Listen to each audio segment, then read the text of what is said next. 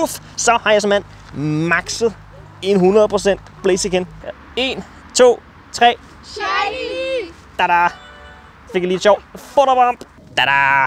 Så fik jeg en til, og det var faktisk fra en øh, opgave. Øh, En shiny Porygon til en shiny Porygon 2. det kan virkelig godt lide den her farvekombinering. Specielt på toeren her, som er sådan virkelig sjov. Den her lille and her. Legetøjs and ligner det. Øh, men nu blå og lilla. 10 km ikke. 8 styks. Det bliver, det bliver super fedt det her. Det bliver mega hype.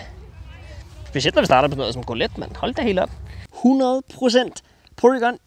Yes! Jeg fik bare 100% der. Var det vigtigt? Op på hovedet. Den ser sådan her ud i øvrigt. Prøv lige dyrke spillet en gang. Hvad, hvad sker der? Hvad sker der med de Pokestop? Det er jo helt sindssygt. Prøv lige dyrke det. Prøv lige en gang og se, hvor jeg er henne. Den der, så vi har en rimelig cool gruppe med. Nu fanger vi den også. Så nu vender jeg mig, så kan I se. Så kan vi kan I også få alle sammen med i baggrunden, hvis I har lyst til det. Hej med jer, og øh, velkommen til Porygon Community Day. Så øh, der kom noget skygge, hold op. Den øh, hedder det, øh, den ser man ikke hver dag for tiden. Den var her rigtig meget i starten. Men nu fordi det er en generation 1, og det er sådan forvejen var rimelig sjældent, så ser vi den faktisk utrolig sjældent. Og derfor passer det faktisk rigtig godt, at vi får en community dag med den. Fordi så er det mere eller mindre overstået kapitel, kan man sige. Så behøver vi ikke at fiske efter flere, hvad hedder det, uh, polygons. Hold det op, jeg havde 7 days streak. Hvorfor havde du ikke logget på det, Jesper? Det er fordi, at jeg tænkte, det gav ikke rigtig mening for mig at lave et logge Det kunne jeg godt have gjort. Nå, okay. Anyways, 7 days streak. Vi har en polygon, og den ligner allerede noget PP-agtigt noget, så det er faktisk okay. Men Polygon, I kan se, jeg har lidt kendt i forvejen. Polygon er den første community dag. Nej, anden community hvor du skulle bruge items for at udvikle den. Det- Der var jo Rhyperia, men den her skal du bruge items både til Polygon 2 og til Polygon Z. Så du skal bruge items begge udviklinger. Øhm, og vi ender selvfølgelig med at få noget, hvad hedder det, tri-attack på alle de her, hold op, alle de her polygons. Men inden vi, lige, klik- inden vi begynder at fange alle de her polygons, så øh, har jeg til en afveksling købt det her pas med en ekstra historie på, fordi at det her pas endte med at give, hvad hedder det, øhm, at give, give en ekstra upgrade og en ekstra Sinnoh Stone, så jeg kan lave en ekstra Porygon set. For jeg vil gerne lave så mange som muligt, og jeg har jo ikke rent og gemt en hel masse af de her Evolution items sådan generelt. Øhm, jeg har altid bare gemt, hvad hedder det, øh, to af hver. Øh, dem her nede i bunden. Som se 2, 2, 2, 2, 2, 2, men så upgrades har jeg selvfølgelig gemt lidt ekstra. Jeg, jeg fik en ekstra her for den anden, den anden dag af nogle opgaver. Og vi får også nogle timed research herinde under today, hvor vi får endnu flere upgrades. Kan du se her, en power up, fang nogle Porygons, og lave nogle nice throws. Så vi får lidt ekstra upgrades, vi får lidt ekstra Sinnoh Stones. Så vi i hvert fald alle sammen kan lave tre polygons, hvis ikke havde items i forvejen, og jeg kan så lave lidt flere, og forhåbentlig endnu flere, når vi kommer en lille smule længere i, i de historier her. Men altså, nice throws, fang polygons, power up. Jeg kan se, at jeg skal power up 10 gange. Skal vi starte, skal vi starte videoen med noget super spændende? Noget, som jeg har powered lidt op, gemt lidt op. Ligesom, jeg kan ikke engang kan power den her op så mange gange. 1, 2, 3, 4, 5, 6. Det var, det var det. 6 gange. Puff, så har jeg simpelthen maxet 100% blaze igen. Som jeg stille og roligt har rent og arbejder på, også med Best Body. Og så øh, en anden, vi skal arbejde en lille smule på, der ligger her faktisk også rigtig højt. Det er, øh, det er Mewtwo hernede. Bum. Som vi så skal give fire gange. Så 1, 2, 3, 4. Yes. Puff. Vi skal lige give den en gang til, kan jeg se. ja, fordi den, var, den, den, talte op til 9. Så vi får lige den her. Yes. Bum. Så har vi powered op 10 gange og har lavet den første del af opgaven. Det andet, vi skal lave, det er, at vi lige skal finde Shiny Polygon. Nu er vi gået forbi ret mange, ærligt talt. Men igen, det er jo en, øh, en spil hjemmefra. Hvad hedder det? Øh, community dag. Og derfor så har vi øh, 6 timer, så vi har god tid. Og Polygon skal ikke bruges som, øh, som raid counter, fordi den er en normal type, så den er ikke super effektiv imod noget som helst. Øh, til gengæld så også neutral over for rigtig mange ting. Øhm, og PvP, heller ikke rigtig sådan særlig specielt. Øhm, den kan bruges faktisk mest af alt som, hvad hedder det, øh, Polygon 2, altså mellemstadiet i Ultra League. Men øhm, nej, egentlig ikke. Jeg har, jeg har ikke så meget stress på i dag. Vi skal bare have nogle shinies. Vi skal bare have noget sjov. Og så, hvad hedder det, øh, lave så mange du kan af de her Polygon sæt. Så skal vi, kom nu, kom nu. Sidste gang var jeg heldig at finde den i første optagelse. Kan vi ikke lige øh, fortsætte med det? Kom så og spil. jeg tror faktisk, det var højere, hvad den er havde klikket på allerede. Men ellers så er jeg sikker på, at vi finder en Polygon lige om lidt. Hvis vi skal finde en, der er sikker på at være tæt på 100%, så skal den faktisk være øh, 1400 og så er det 37. Øh, Når ikke den er weather booster, når den er weather booster, som den er lige nu faktisk, så skal det være øh, 1500 og jeg tror det er 97. Så meget tæt på 6, eller bare meget tæt på 1600, for at være garanteret 100%. Den her var weather booster, det var rimelig høj. Er det noget værd? Nej. En evighed senere. Ah, der er der. Yes! Shiny! Endelig!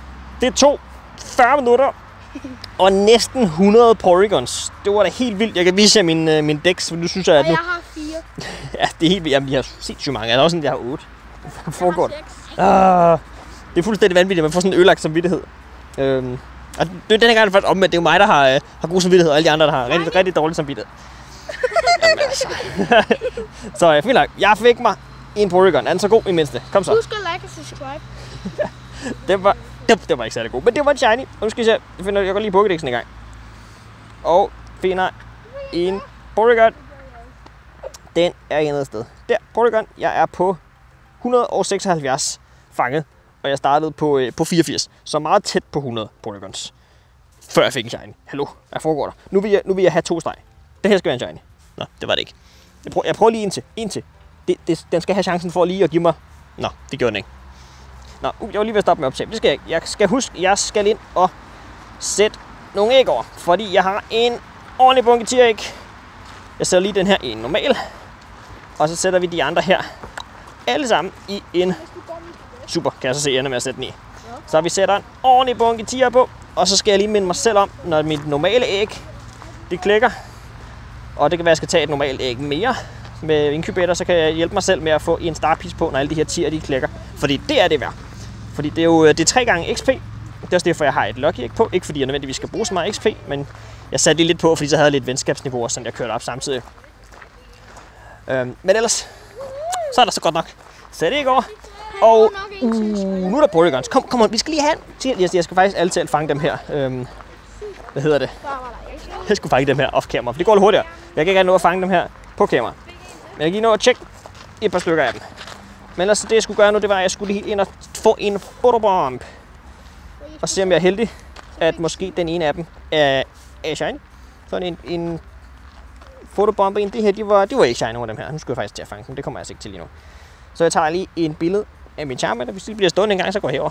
Og jeg tror, vi skal, vi skal gå, jeg skal faktisk gå den anden vej. Lyset kommer herfra. Jeg skal stille lige over et øjeblik. Hvis I skal være med på billedet en gang. Så jeg kan fange med en Charmander her, her foran. Er I klar? Kan man se jer nogenlunde? Det kan man godt. Okay, så siger vi... Øj, jeg skal lige have en gave, kan jeg se. Sådan der. Er I klar til at sige shiny på 3? Okay. 1, 2, 3. Shiny! Da-da! Fik jeg lige et sjov fotobomb med en Porygon. Det kan I se den. Det er lige fotobombe, jeg er i gang med en Porygon på. Og en Charmander midt nu. Oh, håber, den Det ser meget sjovt. Nu, må den se, nu, skal, vi kan faktisk se om på farvekoden, om den bliver shiny fra lure. Hmm, nej, det gør den ikke. Den er desværre ikke shiny. Men alligevel, vi har nogle stykker, vi har et par- forsøg med. og Hvis jeg får en shiny, så håber jeg, at kunne se den. Han har allerede fået en shiny. Allerede en shiny på 43 minutter. Bedst statistik ever. Nå, vi ser, hvad der sker der mere. Yes! Indtil... Jeg må hellere, jeg må hellere filme dem alle sammen, for det, du ved aldrig, hvor mange jeg får jo. Hvis jeg lige pludselig der går en halv time, og ikke få nogen. Det er jo lidt, øh, lidt vildt. Så Gyldenbær, Ultra Ball, let's go. Skal have nogle, nogle shiny. Så okay, det var, det var fint nok. Du fik jeg ved 5 minutter siden, jeg fik ind til. Er der mange Porygons her? Spændende. Jeg skal lige tjekke en enkelt eller to mere efter den her, så vi lige kan lave to streg. Jeg kan lige få lov at indhente min statistik en lille smule. Den var en lille smule bedre. Og der er godt nok mange. Hold da op. Det kan også godt se. Jeg har nogle stykker oven hinanden her. Jeg klikker lige på et par stykker. Bare lige. Skal lige, skal lige kigge. Om der er en af dem, der er god. Nu er de blevet weather boosted. Jeg synes, de, de, synes, de skifter lidt mellem at være weather boosted og ikke weather Hvis nogen af jer, der får en shiny, så sig det til. Nå. Jeg skulle ikke have flere polygons lige nu, kan jeg godt se. Nu gik min skærm fuldstændig stå. Nå, men så må jeg jo stoppe til. Ah, men altså. Der var, der var en til. Og det, det vil jeg ikke have optaget, fordi jeg hele tiden tænkte, at jeg optager bare, når der sker noget mere. Det er, at jeg har faktisk fået utrolig mange på et øjeblik, og med meget, meget, meget lidt mellemrum. Dog ikke lige efter hinanden, men mega tæt på, så jeg skulle, jeg skulle stoppe med. Jeg skulle ikke også stoppe med at optage, det. Jeg skulle holde den kørende, for så kunne jeg bare have fået shinies på striben. Nu går jeg ind og viser jer min recent Pokémon. Og altså, jeg har ikke ryddet noget op. Så, øh, så den, er, den er legit, den her. Nu går jeg ind og kigger nu. Polygons, prøv lige det her. Altså, der ligger bare næsten altså, hver anden to gange, ikke? Og så med tre Polygons imellem, så altså, det var fire på et øjeblik. Og så den femte, jeg fik hernede, den ligger. Så nu er jeg, nu er jeg så oppe på fem shinies på 50 minutter, så nu er statistikken kørende. Det er pludselig en hver 10 minut. Og jeg har også lige fået fem. Uha. Men ja, okay, så nu er jeg ikke så bekymret mere. Lige før jeg tænker, jeg får bare ikke nok shinies til det her. Hvad sker der? For det var der skal jeg nogensinde lave video på det her. Jeg Uh, den så faktisk fin ud til PvP. Ikke at jeg rigtig ved, om jeg skal bruge den til PvP. Den anden side sagen. Uh, den var høj, den der. Lækkert. 107 Polygons har jeg fundet. Og hvad jeg siger, 107? den her. Det tror jeg også, det er lige der omkring, jeg har fanget. Måske lidt mere, jeg ved det ikke. Nu kunne det være sjovt at få en, en ekstra shiny. Og så crasher spillet. Okay, det er så tredje gang, det crasher også. Fint nok, det bliver så ikke streg lige nu. Da-da! Så fik jeg en til, og den var faktisk fra en øh, opgave, den her Polygon. Så den er, den er sådan sandsynligvis rimelig god. Øh, jeg mener, den skulle være noget med 737 eller sådan noget for opgave. Så når den her den er 707, så er der stadig lidt vej nu.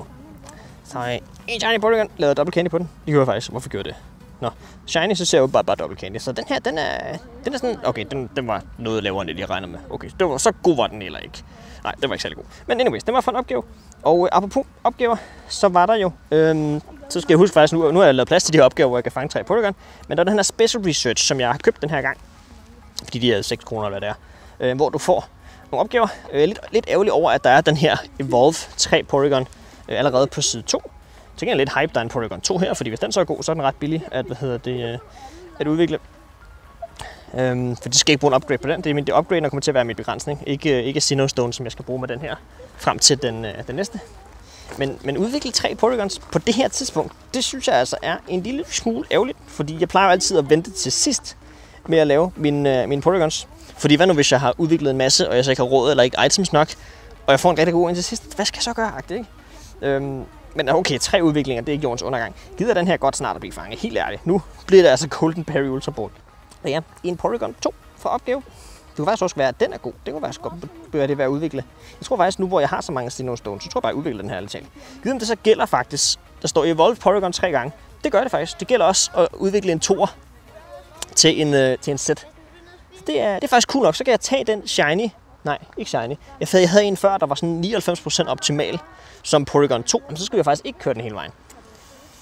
Jeg tænkte lige, at det var smart at bruge den Polygon, som jeg skulle bruge til det. Nå, Polygon set med Tri-Attack dernede. Jeg tænker lige, finder, så finder jeg den gode Polygon, jeg havde.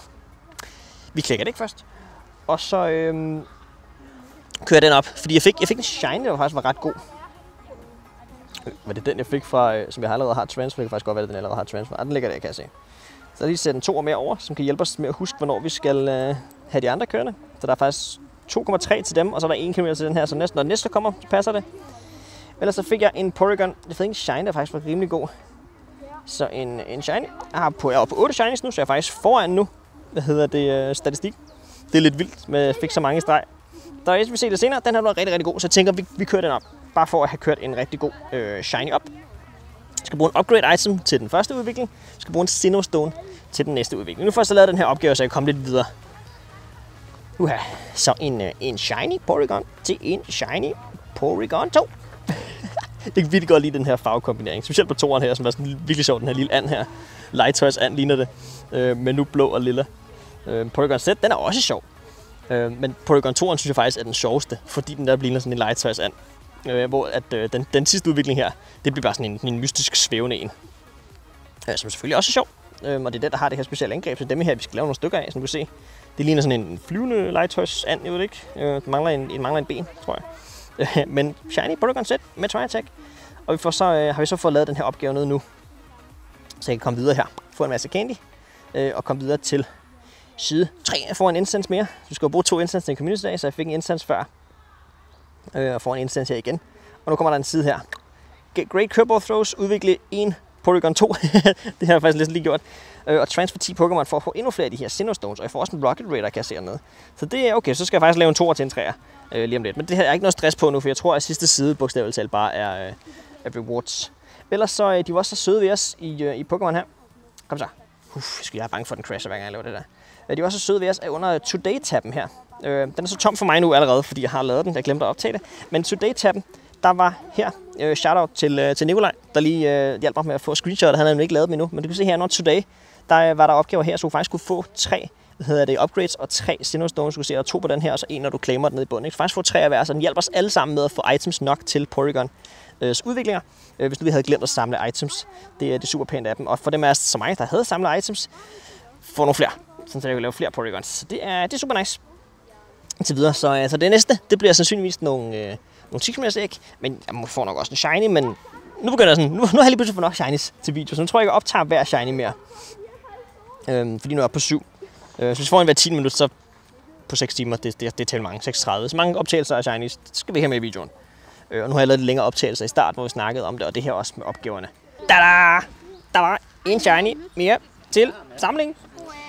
Og jeg har faktisk fået Uhyggeligt mange shinies nu. Og jeg har lavet et super fedt stunt, som jeg lige glæder mig en lille smule til at, øh, til at vise jer lidt. Det bliver, det, det bliver vildt det her, skal I bare se. Fordi det er, det er super cool, når vi øh, til Community Day kan lave mange shinies på et øjeblik. Og når vi laver øh, to shinies i streg, er det super cool. Men prøv lige at dykke her. Tre shinies i streg. Og nej, jeg har ikke slettet ind imellem. Det kunne man godt gøre for at det se sådan her ud, ikke? Men jeg stod og spiste, jeg stod og spiste lidt forhest, og der kunne jeg altså ikke optage. Øhm, og det var faktisk lidt, lidt ondt, for jeg stod ved siden af en, der kunne have fået fire alt. Så fik jeg fire i streg. Så lige pludselig. Men altså alt i alt, shiny er jeg så oppe på 3, 6, 9, 12, 13, 14 shinies. Og det, der så faktisk er mest imponerende, altså jeg har foran statistikken, fordi vi har spillet 105 minutter, så altså mere end en hver 10 minutter. Men jeg fik jo ikke en før 40 minutter inden. Øh, og nu er den 45. Øh, så faktisk på den sidste time har jeg fået, en time og 5 minutter, har jeg fået 14 Chinese. Så det er jo også en form for rekord. Det er jo også en rimelig cool. Øh, jeg har kørt den ene op allerede, som I kan se. Så øh, super nice. Lad os lige, øh, lad os lige få en til. Lige, den her, den er også shiny, ikke? Det kunne være, den forsvandt. Nå, den her er også shiny. Nå, det var den så ikke. Så klikker vi 10 km ikke. 8 styks. Det bliver, det bliver super fedt det her. Det bliver mega hype. Specielt når vi starter på noget som går let, mand. Hold da helt op. Nice. Og øh, jeg har fundet en bænk i solen, så I kan se mig. Super fedt. I går let. Ej, det er nok ikke når vi tjekker dem alle sammen. Så tager den optagelse alt for lang tid. Men øh, det har en på, så vi skal også lægge mærke til, hvor meget øh, starters jeg får. De her øh, æg her, det kan give rigtig meget nemlig.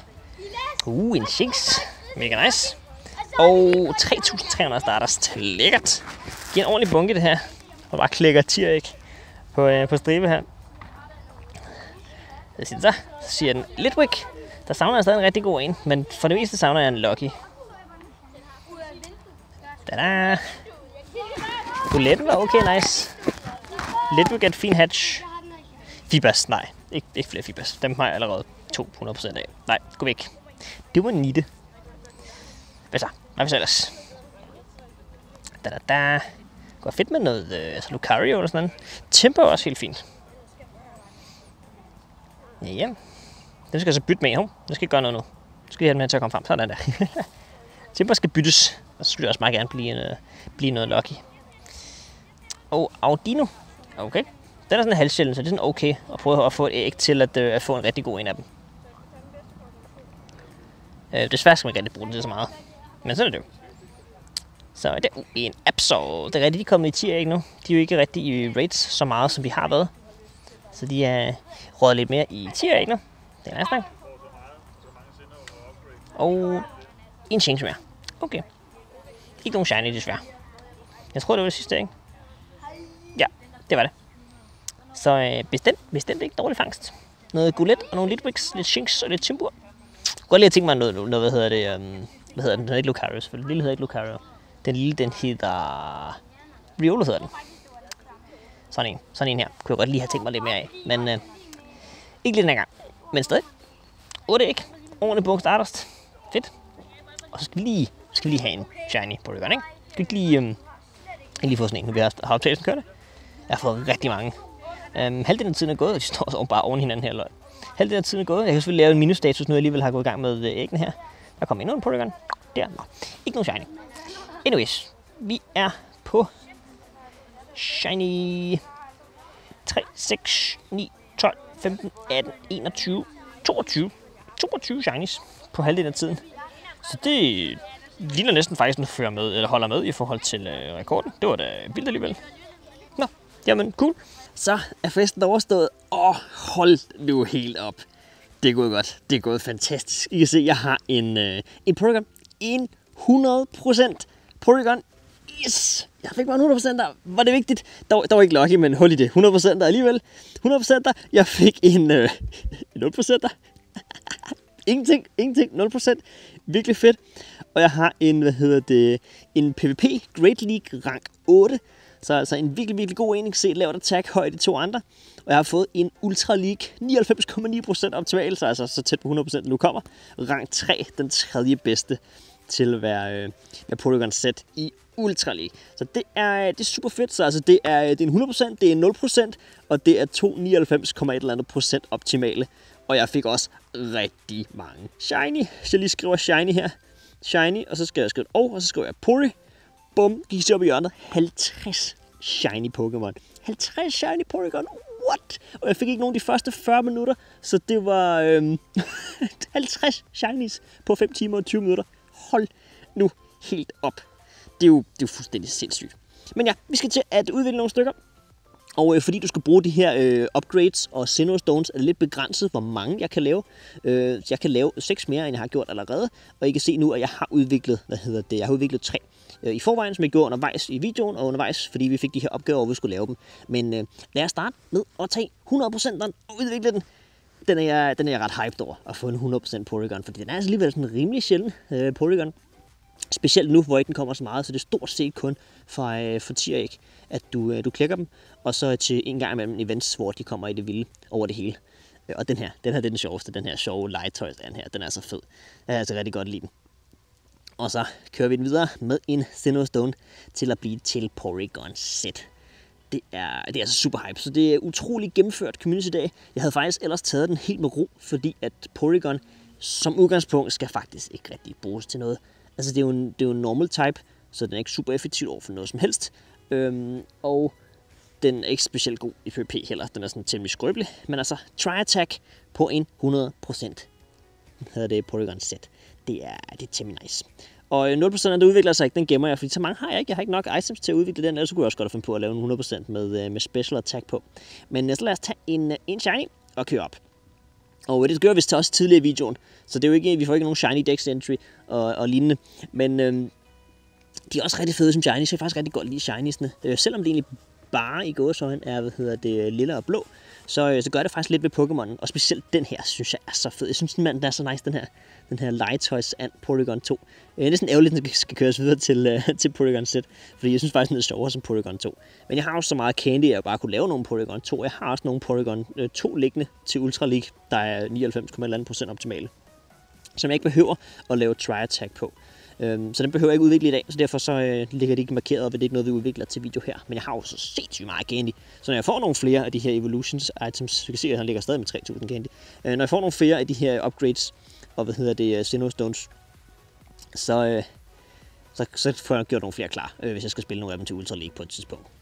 Så ellers har vi nogle PvP klar Pokémon, men den ligger jo i rang 300 og rang 100 og øh, rang, hvad den, og 100 eller andet også, tror jeg faktisk, hvis ikke det var... Øh, det kan faktisk godt være, det var par 70 eller sådan noget til Master League. Men altså, nej, det skal jeg ikke rigtig tænke på den i PvP, og det skal jeg ikke rigtig tænke på den til race. Så altså, mest af alt, mest af alt for sjovt, men alligevel en fed shiny og en cool shiny, fordi det er en ret sjældent Pokémon, vi får en shiny til. Øh, og så har jeg haft mulighed for at kunne, kunne slappe med af og være lidt mere social sammen med alle jer i dag. Og det var jo også super fedt. Og øh, jeg tror, jeg bruger så meget tid i dag i videoen øh, på at sidde og kigge på stats. Øh, men jeg har screenshotsene liggende og øh, jeg mener, at jeg fik fanget omkring øh, 900 øh, polygons. Så det er, det, det er rimelig hype. Og at øh, 50 shinies ud af 900, det er faktisk en lidt for god statistik øh, i forhold til, hvad jeg burde få. Øh, for eksempel til Magikarp, der fangede jeg jo øh, over 1000 øh, og fik øh, kun et par 40. Jeg var noget at ramme 1200. Det var tæt på i hvert fald øhm, øh, med Magikarp øh, og have fået mindre shinies end det her, så det var også fuldstændig vildt at tænke på. Øhm, Candy, der, øh, der lå jeg på omkring 500 fra starten af, øh, og jeg var over 3000 lige før, så det er 2500 Candy. Men jeg udviklede også to Polygon sæt, hvis ikke det var tre, jeg faktisk fik udviklet øh, inden, eller undervejs. Så det, jeg har også lavet tre undervejs, så jeg, har, jeg tror i hvert fald, jeg har fået de 3000 Candy øh, i løbet af dagen, så det er også rimelig vildt til, øh, til Porygon. Øh, fordi så mange på, øh, hedder det, øh, Pineapps havde jeg faktisk ikke klar til at, øh, at køre til community i dag, fordi jeg har brugt rigtig mange Pineapps på Articuno, som øh, vi har nu og kommer i aften stadig. Shiny Articuno med Hurricane. Hurricane er Legacy, så det er super vigtigt, når I skal lave Articuno her til aften. Så en lille bonus for dem er, der ser videoen til slut. Yes. Rigtig vigtigt med Articuno i aften. Øh, den Hurricane, The Legacy, øh, det her du kun ellers kunne få enten med en Elite TM, eller hvis du spillede dengang, den havde en, øh, en raid dag og blev udgivet som Shiny eller første gang. Så det er, øh, det er super nice. Øhm, jeg har ikke gået så meget med XP, fordi jeg er jo lidt før, øh, men der var jo tre gange fangst XP, og du kunne få sætte logge på, og så var det seks gange fangst XP, og jeg har fået en del af det. Øh, jeg tror også, jeg har fået 100.000 starters og sådan lidt. Øh, vi fik nogle venskabsniveauer. Øh, jeg fik, tror, jeg fik to best friends og et par ultra friends, jeg har da fået lidt, øh, måske en halv million XP eller sådan i dag. Øhm, så det har bestemt været en rigtig, rigtig god dag. Jeg tror, jeg har flere nu. Jeg tror, alle dem, jeg har favorite, det har jeg udviklet op og kørt nu. Yes, så jeg har fået mig ni nye Porygon sæt i dag. Og så har jeg en ekstra hernede fra, fra den gang, uden blev udgivet med, med Sinnoh Stone her med 96. Så jeg har 10 Porygon sæt nu. Øhm, og ni af dem med, øh, med Try Attack. Så det er, det er super duper nice. Knap så stressende den her gang, fordi jeg ikke skulle lave nær så mange udviklinger. Nu har vi øh, stadig 9 minutter til, øh, til klokken den er 7, og øh, en ekstra 0% for at sidde at, øh, at gemme lidt for sjov. Så yes, super nice. Hvis I synes, det var fedt med noget uh, Porygon Community Day, nogle rigtig fede shinies, og en 100% når man halløj, så stik videoen her et like. Det vil jeg sætte rigtig stor pris på. Jeg vil også sætte rigtig stor pris på, hvis I har lyst til at komme forbi min livestream, Twitch TV slash onsdag og fredag. Hvis ikke vi ses på livestream, så ses vi bare i den næste video. Held og lykke med Raid Aften i aften. Hej med jer.